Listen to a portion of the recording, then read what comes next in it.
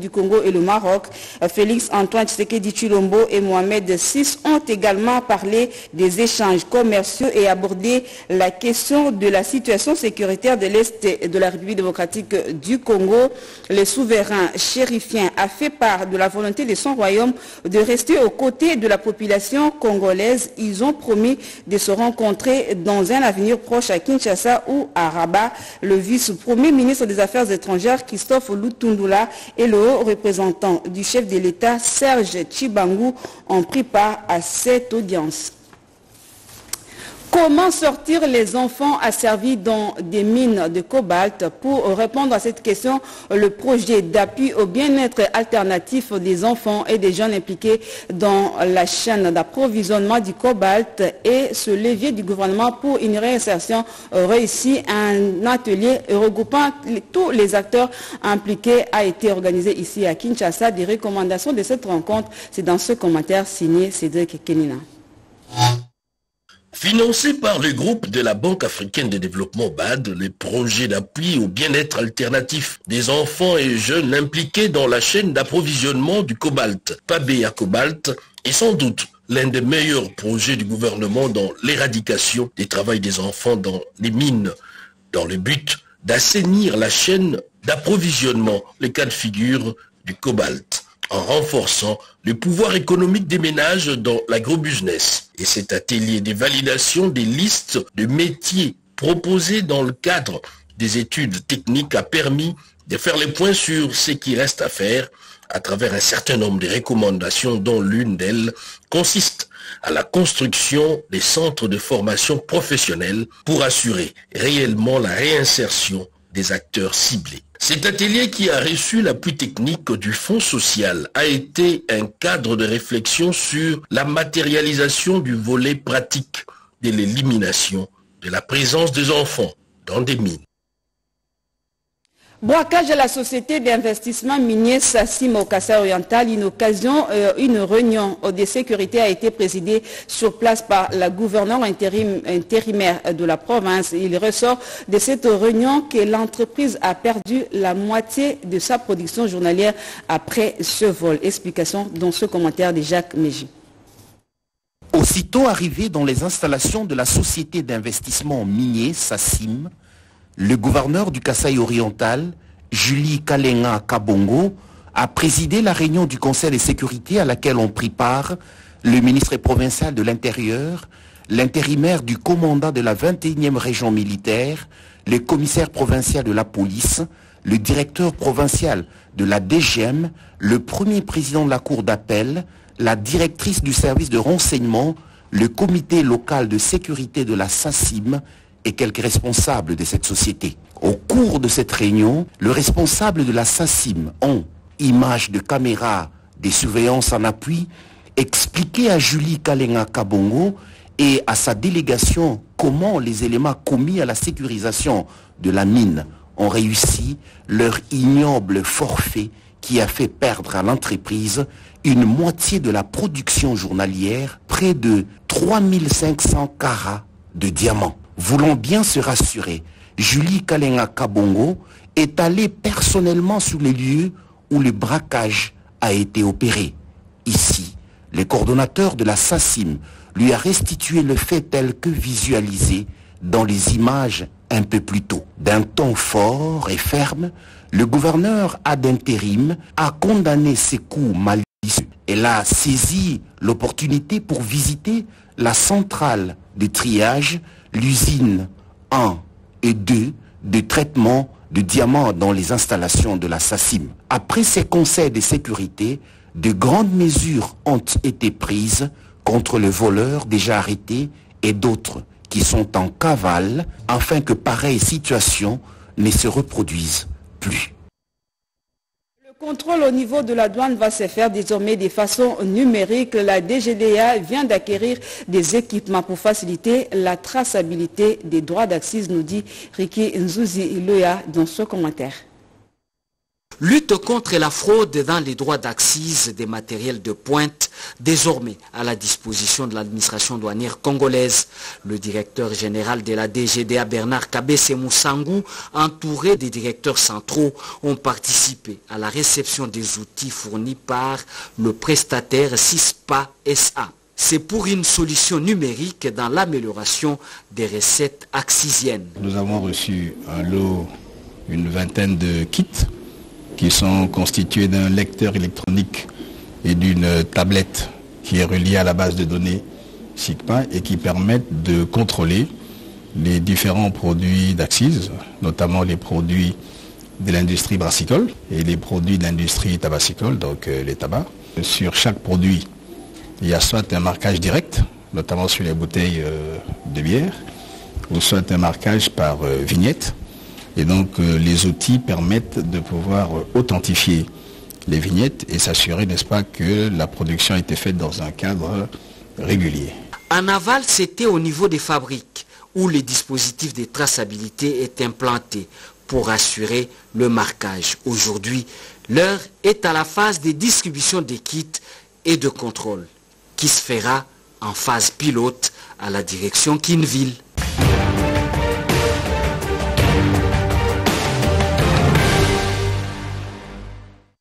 Les activités réalisées au courant de la semaine par le chef de l'État, sachez qu'il a reçu au courant de la semaine le corps diplomatique accrédité en République démocratique du Congo pour une cérémonie d'échange de vœux. Le chef de l'État, Félix Antoine Tshisekedi Chilombo, a aussi reçu tour à tour les ambassadeurs de Belgique et de Serbie. D'autres faits dans ce commentaire d'Ekibambe et Somouessa. En début de semaine à la Cité de l'Union africaine, le président de la République Félix Antoine Tshisekedi Chilombo a reçu le gouverneur intérimaire du Lualaba, Madame Fifi Masuka Saini, nouvellement élue députée nationale. Des questions liées à la sécurité de la province et aux infrastructures étaient au cœur des échanges. Nous avons parlé de l'appui reçu pour sécuriser la ville minière de Kolwezi poumon de la RDC a indiqué l'autorité provinciale au sortir de l'audience. Madame Fifi Masuka a dit également avoir fait le rapport sur les infrastructures des bases au Lalaba. Des questions relatives à l'économie, l'éducation et la santé ont été aussi évoquées au cours de cette entrevue, a renchéri Madame le gouverneur intérimaire. Un émissaire du chef de l'État angolais a été reçu par le président de la République Félix Antoine Tshisekedi Chilombo. Le ministre angolais des Affaires étrangères, TT, était porteur des messages du président Joao Lourenço à son homologue de la RDC. Le raffermissement des relations bilatérales d'amitié et de coopération entre Kinshasa et Luanda était au centre de cette rencontre, a déclaré le ministre angolais des Affaires étrangères. Et puis, la tradition a été respectée au Palais de la Nation. Le corps diplomatique accrédité en République démocratique du Congo a échangé avec le président de la République, Félix Antoine Tshisekedi Chilombo, le vœu les meilleurs de Nouvel An 2024. La RDC demeurera un espace de coopération ouvert à tout partenariat gagnant-gagnant dans le strict respect des lois nationales et conforme à son nouveau projet de société, a notamment indiqué le chef de l'État dans ce mot de circonstances. Il a rassuré tous les partenaires publics et privés nationaux et internationaux de la volonté du pays à maintenir les niveaux d'engagement enregistrés avec la communauté internationale. Le Royaume de Belgique s'est dit prêt à accompagner le président de la République Félix Antoine Tshisekedi Chilombo réélu pour un second mandat à la tête de la République démocratique du Congo dans les priorités de son programme annoncé dans son discours d'investiture. Madame l'ambassadeur belge Roxane Debil Derling l'a dit de vive voix au chef de l'État. La diplomate belge était porteuse des messages officiels du roi de Belge et de la lettre de félicitations du Premier ministre du Royaume de Belgique au chef de l'État pour sa réélection comme président de la RDC. À la Cité de l'Union africaine, le président de la République a aussi reçu l'ambassadeur serbe Miroljub Jeftik, avec qui il a passé en revue des questions relatives aux partenariats stratégiques, notamment dans les domaines de l'économie, de l'agriculture, des chemins de fer entre la Serbie et la République démocratique du Congo. Par ailleurs, l'autorité des régulations de la sous-traitance dans les secteurs privés s'engage à poursuivre les efforts pour l'instauration de la réelle classe moyenne à RDC conformément aux directives et recommandations du président de la République Félix-Antoine Tshisekedi Chulombo. Miguel Kachal Katem, directeur général de l'ARSP, l'a dit au chef de l'État, lui exprimant sa détermination à l'accompagner dans son programme de création d'emplois de l'entrepreneuriat en l'occurrence des jeunes, une des priorités du quinquennat du président de la République. De 3500 entreprises, la RSP, sous la direction du DG Miguel Cachal, est passée à 14 000 entreprises congolaises avec comme objectif d'accroître davantage des petites et moyennes entreprises aux capitaux congolais. Septième anniversaire de la disparition du patriarche Étienne Tshisekedi Wamulumba, décédé à Bruxelles, en Belgique, le 1er février 2017. Le président de la République, Félix-Antoine Tshisekedi Chulombo, sa mère, la veuve du leader charismatique Maman Marthe Kassalou, des membres de la famille biologique et politique et plusieurs sympathisants ont assisté à la cathédrale Notre-Dame à une messe d'action de grâce à mémoire de l'illustre disparu. Encore une occasion pour l'officiant du jour de convier l'assistance à une pensée pieuse pour le patriarche Étienne Tshisekedi et de rappeler l'élogieux parcours du premier docteur en droit et du démocrate par excellence.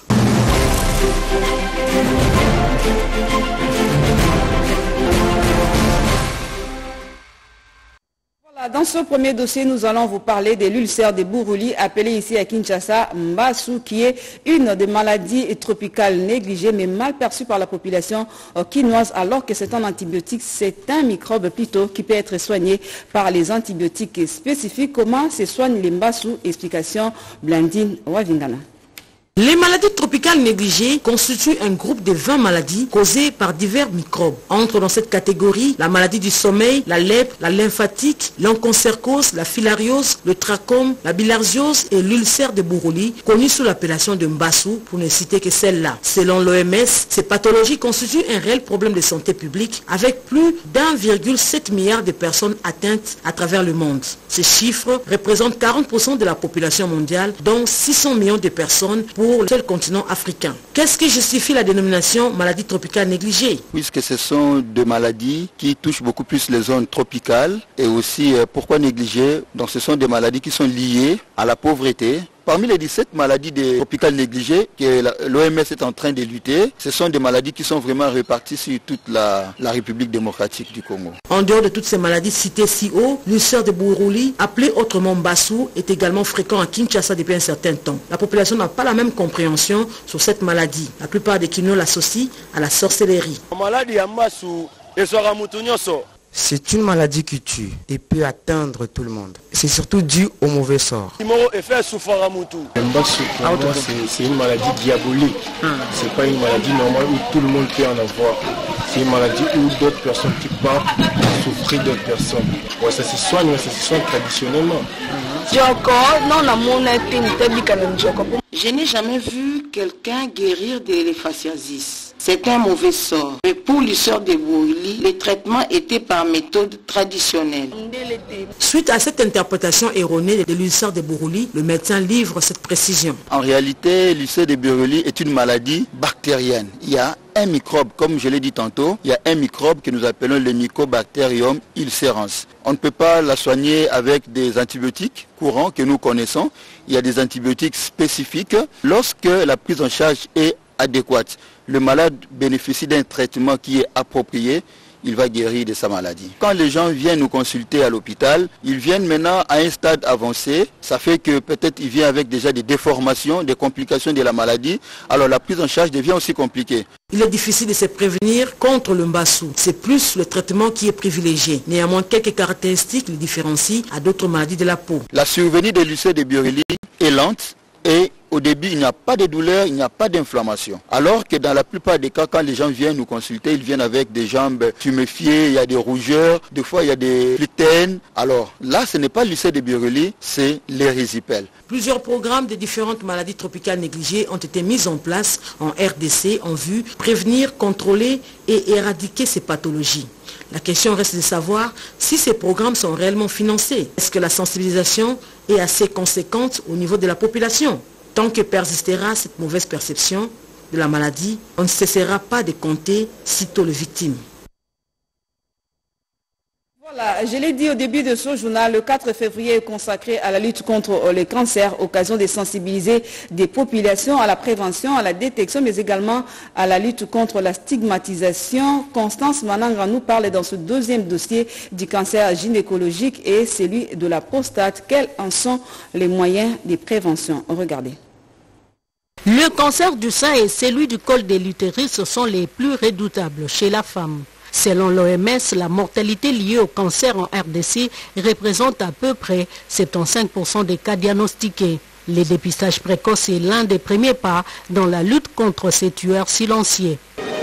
J'ai été diagnostiquée positive au cancer du col de l'utérus. L'information, je l'ai eue dans un groupe où une collègue avait partagé les dépistages gratuits euh, au centre de santé Montcolé.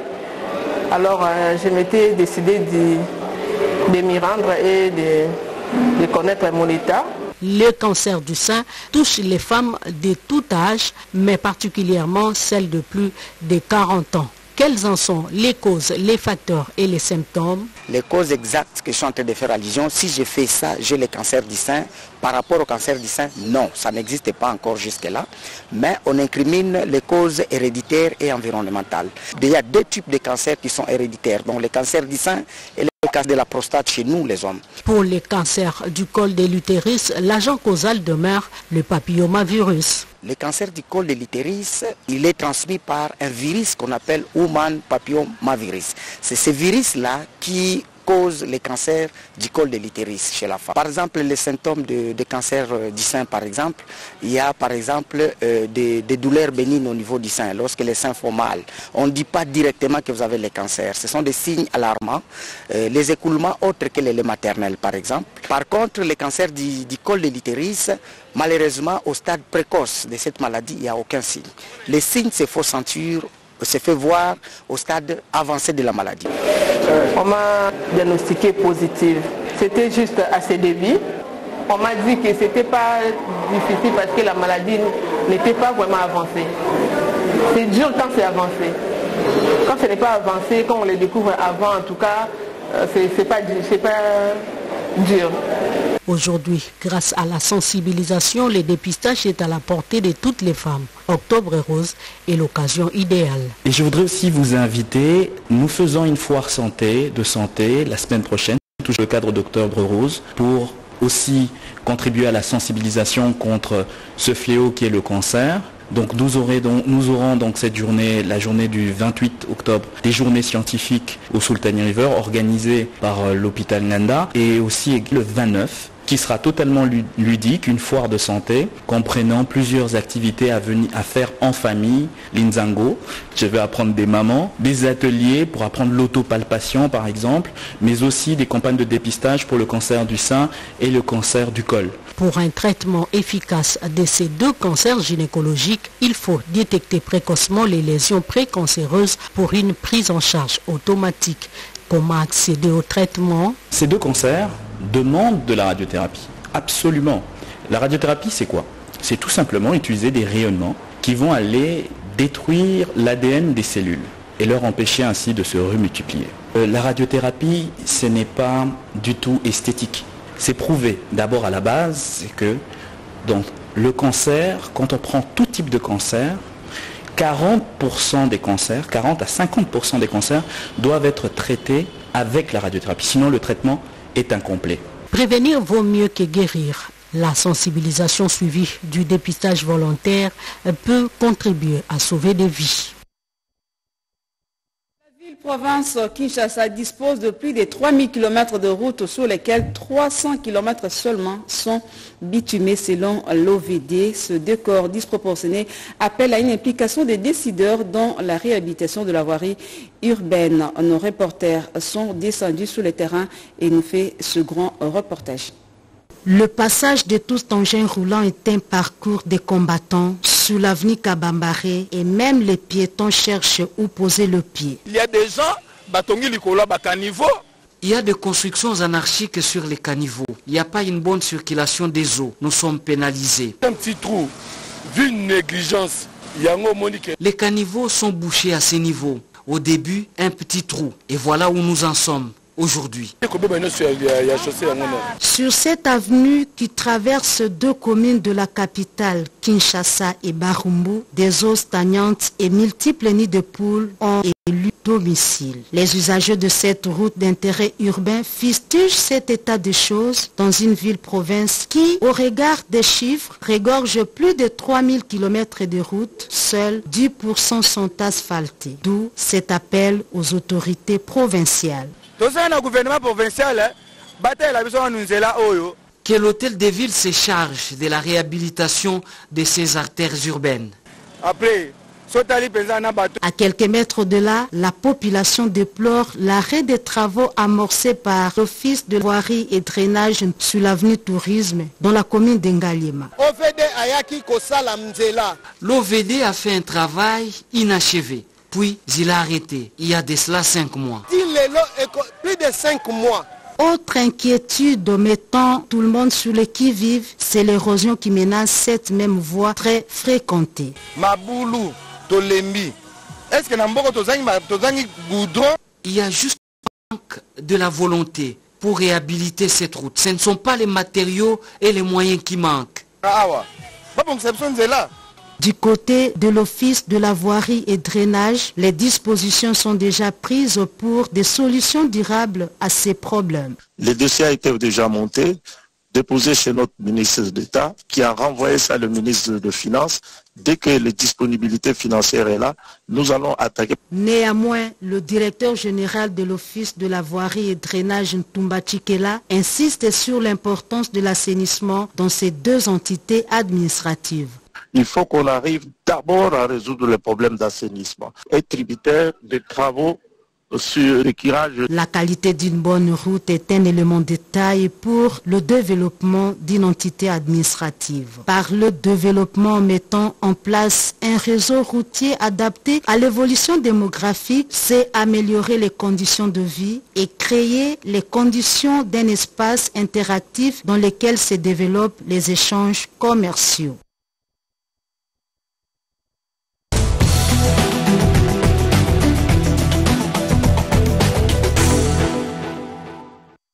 Merci Tony Djouma et Joséphine Liendo pour ces images. Dans la province de la Chopo, le directeur provincial de la RTNC plaide pour la sécurisation des propriétés de la chaîne publique de ce coin du pays. Awazi Mougeni l'a dit au terme de sa visite au site de la commune de Mangobo. Reportage. la commune de Mangobo, précisément dans le quartier Imbolo, non loin de la société textile de Kisangani, est une propriété privée de la RTNT, station provinciale de la Chopo, couvert par un certificat d'enregistrement. Awazi Yabili a personnellement effectué une visite ce jeudi 1er février 2024. Question pour le nouveau directeur provincial de ces médias publics d'avoir une idée nette sur l'état actuel de la dite concession. Après cette visite, Awazi Yabili, directeur provincial de la RTNT Chopo, qui avait dans sa suite une grande équipe de ses proches collaborateurs, n'a pas manqué de mots. Comme euh, une propriété de la RTNC, je ne peux pas être ici sans pour autant venir voir et réellement constater comme on a fait sur les autres. On a passé presque tous les, services et on ne peut pas s'en passer sans pour autant venir ici et avoir une précision. Un terrain de 9 hectares, ce n'est pas simple. hein. Nous avons déjà une concession que je viens de voir moi-même. Donc il faut que la direction générale aussi nous aide à faire construire quelque chose ici pour bien sécuriser le terrain. Signalons que juste après cette visite, le nouveau patron de la RTNT station provinciale de la Chopo s'est rendu à la cathédrale Notre-Dame du Très Saint-Rosaire où il a participé à la messe de Requiem en mémoire du fait Étienne Tshisekedi Wamulumba.